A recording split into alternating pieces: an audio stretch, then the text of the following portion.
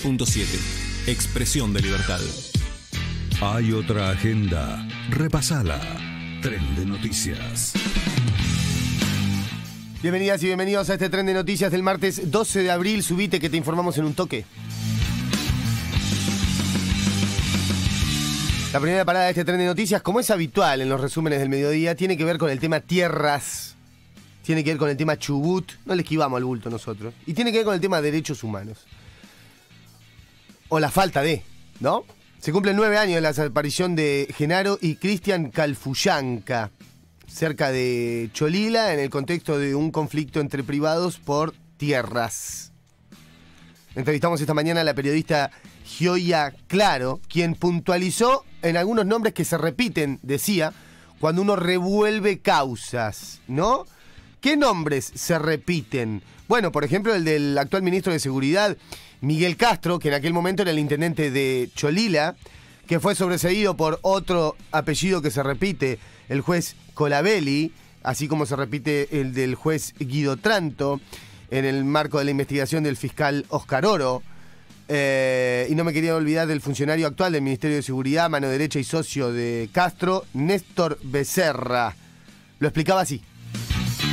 Había alguien que sabía algo y que no lo pudo contar. Genaro nunca llegó a declarar en ese juicio, eh, en esa investigación. A su vez, las partes eran Débora Finkelstein y el otro vecino era Oscar Ruiz. ¿Quién es Oscar Ruiz? Es el cuñado de Néstor Becerra, que por Mm. aquel entonces era parte del Ejecutivo Municipal y trabajaba y era socio y es amigo del ex intendente de Cholila, hoy ministro de Seguridad, si no me equivoco, Miguel Castro. Bueno, surgen estos nombres ya hace nueve años relacionados con el traspaso de tierras, con los silencios que hay en Cholina, con las cosas que no se cuentan, con las cosas que nunca se supieron. Y Colabelli también es otro de los jueces que participó en todo contra Pulofra en Resistencia Cuyame, Claro. contra las distintas comunidades indígenas. Hay como todo un aparato judicial que viene manejando las injusticias de la provincia. Por lo menos acá en la zona de Cordillera son los mismos nombres. El fiscal Oro, después estaba Colabelli y Otranto. En un rato subimos la nota a nuestras redes para que la pueda compartir, eh, que tiene este caso una impresionante actualidad, ¿no? Uno de los mencionados directamente es el actual ministro de Seguridad, ¿no? Venimos de Mazzoni, Das Neves y Castro ahora, ¿no? Pero esto va mucho más atrás. No lo digo yo, lo dice el grande de Osvaldo Bayer. Escuche la perlita que encontró Facu Navarro de una entrevista que le hacía él mismo en 2016 acá en la radio de Namuncurá. Cuando Bayer planteaba este escenario de cómo se tuvo que ir de Esquel y cómo está otra vez el tema, cómo se repite, ¿no? Cuando algo no se soluciona, se repite. Como es el tema este, tierras y la impunidad en Chubut.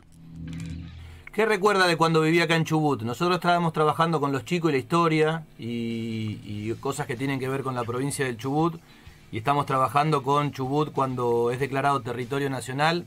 ¿Coincide más o menos en esa época con su presencia aquí en la provincia? Claro, sí, exactamente, sí. Yo estaba en, en Esquel, trabajando en el diario Esquel, dirigiendo el diario Esquel. Y, este, bueno, eh, fue prohibido el diario Esquel y salió otro, eh, y que hice otro otro periódico con otro nombre. Y este, pero finalmente fui perseguido también y tuve que dejar Esquel con gran dolor de mi parte, porque me gustaba mucho estar en Esquel, estar en ese paisaje. Y a mi, a mi mujer y a mis hijos también les gustaba mucho. Y tuvimos que volver a Buenos Aires. ¿El gobernador era Galina? ¿Eh? ¿El gobernador, digo, era Jorge Galina? Exactamente, sí. Es muy interesante este caso para, para pegar una leída y repasar un poco el archivo. Caso con el que volveremos en los próximos días, si no mañana, eh, con una nueva entrevista. Nos vamos a otro tema que de alguna manera también tiene que ver con el tema tierras y sobre todo los poderes reales. Eh, y nos vamos a hablar del tema del encanto de la mosca, este documental que tiene la dirección artística de mm, eh, también en la codirección el negro Octavio Comba, madrinense él. En este documental se habla de eh, la contaminación silenciosa de Aluar, la planta de aluminio de la ciudad de Puerto Madryn. Le, mm, le pedimos unas palabras, ya habíamos hablado con él sobre el documental, apenas salió. Eh, y bueno, el documental fue premiado en diferentes lugares, obtuvo eh, reseñas favorables en diferentes medios a nivel nacional, en Telam, en Tiempo Argentino, en Página 12, también en diferentes medios. Eh, y le dijimos, bueno, ¿cómo está viviendo todo esto al negro Comba? Y, le preguntamos, nos dijo que espera que sí, eh, poder exhibirla en las salas de Puerto Madryn. Acá muy contentos con el estreno del Encanto de la Mosca, con la repercusión que viene teniendo, no solamente en, en los medios, sino con, con el público y bueno, gestionando la manera de llevarla a Madrid. Sí, sabemos que, que en la ciudad hay un espacio Inca, así que estamos tramitando para llevar la peli cuanto antes. Por otro lado, también gestionando para pasar la película en otras provincias de- del país y seguimos moviéndola en festivales, que al momento no tenemos noticias nuevas, pero bueno, luego de, de obtener el premio a la mejor película en la competencia de Nuevos Directores del FIDBA, el Festival Internacional de Documentales de Buenos Aires, nos parece que quizás ahora tengamos un empujoncito más.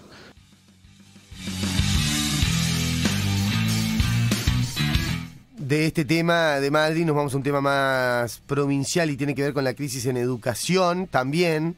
Eh, además de los salarios de hambre, las escuelas rotas, la represión que se ha vivido los trabajadores estatales en general y de educación en particular, eh, continúa el asedio judicial para quienes han resistido estos años.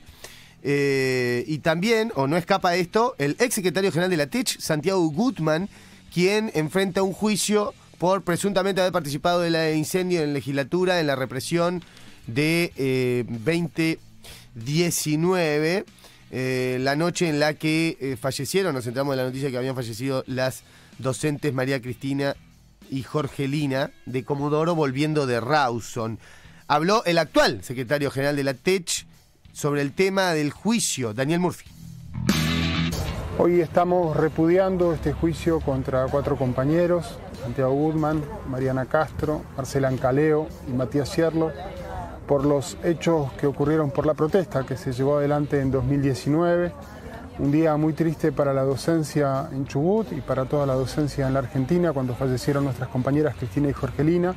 Y la bronca de quienes estábamos presentes en ese momento llevó a, a protestas como correspondía, no podíamos quedarnos callados, no podíamos estar esperando. Hoy el gobierno lleva adelante o sigue adelante con la persecución judicial a quienes participamos de esa protesta en la persona de estos cuatro compañeros y compañeras y es por eso que repudiamos este juicio y exigimos el inmediato sobreseimiento de los imputados.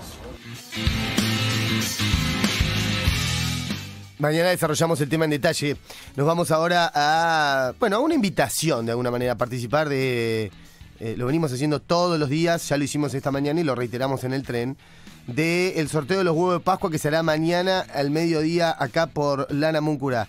Este, con lo que salen los huevos, qué mejor que evitarse comprarlos. Bueno, podés participar del sorteo, das una mano en la Escuela de Gestión Social 1737 y me si te llevas uno de estos huevitos. ¿Viste que los huevos de este año cuestan un huevo? Sí, pero ¿sabes que con 200 pesos puedes ganarte un huevo XL? Gran sorteo de huevos de Pascuas en la Namucurá, a beneficio de la Escuela de Gestión Social 1737. Primer premio, un huevo de 740 gramos. Segundo premio, un huevo de 480 gramos. Tercer premio, dos huevos por 210 gramos. ¿Por dónde? Por Radio Namucura, el día miércoles 13 a las 14 horas. Agradecemos la donación a las Delicias de Cande. Un abrazo grande a Cande, eh, que nos dio esta mano muy grosa. Este, los tres huevos los puede ver en nuestras redes sociales. Las fotos son impresionantes. Aparte tiene el detalle de la Fundación Seferino. Hermosos huevos. eh, para poder eh, participar del sorteo. La mm, última voz que escucharon en ese recorte es eh, la de Nazarena. Nazarena Aravena es alumna de la escuela, de la Escuela 937, Gestión Social, de la cual esta radio es parte. ¿Cómo es parte? A través de los talleres de comunicación. ¿Y qué hacen ahí? Bueno, aprenden, por ejemplo, eh, realización audiovisual, en este caso, puntualmente producción de radio, preproducción, producción y postproducción de radio. Todo lo que van a escuchar a continuación, la selección del tema, en este caso un cuento, la interpretación del mismo y la edición está hecho íntegramente por la alumna Nazarena. Escuchen. ¿Quién apagó las psicofonías? Lo que me dispongo a relatar es absolutamente verídico y relativamente reciente. Me ocurrió a mí hace aproximadamente seis meses. A mí el mundo del espiritismo, las psicofonías y demás me produce mucha curiosidad, pero a la vez me asusta. Un compañero de clases me proporcionó un CD que tenía grabadas algunas psicofonías. Mi hermano me propuso llevarme un portátil para escuchar el CD mientras se duchaba, y así lo hicimos. Antes de escuchar la primera psicofonía, una voz presentaba el CD y hacía una advertencia. Nunca lo escuches a oscuras. En ese momento, para asustar a mi hermano, apagué la luz del cuarto del baño y él gritó, Enciende la luz. Cuando la encendí, el disco ya no sonaba. Ella le había dado stop. Yo no fui, de eso estoy segura, porque tenía dedo en el interruptor de la luz. Y mi hermano tampoco, estaba dentro de la bañera y a más de dos metros del portátil. ¿Quién apagó las psicofonías? No lo sé, y no estoy seguro de querer saberlo.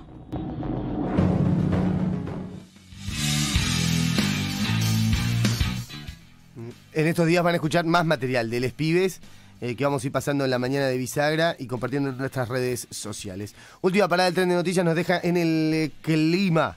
14 grados la actual en la ciudad de Puerto Madryn. No, ¿qué digo? Sí, digo bien. 14 la actual.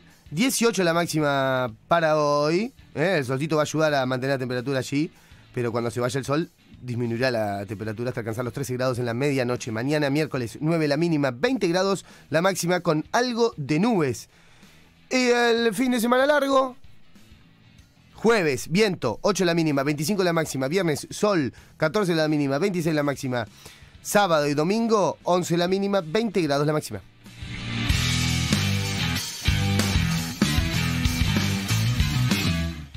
Date una vuelta por www.lanamucura.com. ¿eh? Ahí ves las notas actuales, pero también podés bucear en el archivo de la Namucurá, ¿eh? donde encontrás notas sobre diferentes temas, algunos de los que hemos abordado en este tren, que volverá a tener su emisión mañana al mediodía, como todos los días. Pero, si querés eh, repasarlo, lo podés hacer eh, de lunes a viernes a partir de las 20. Además del tren, la repetición de Farolito y la puesta al aire del noticiero de Farco, del Foro Argentino de Radios Comunitarias. Marco Rodríguez en la realización y operación técnica, Fabio Zapata, Facundo Navarro, Fabricio Carelli quien les habla en la producción, coordina Laucha Merino, un beso grande para Eugenia Nausic que se recupere pronto. Es el informativo de Lana Muncurá, que es expresión de libertad. Ya te informaste. Levantamos las barreras. Así pasó el tren de noticias.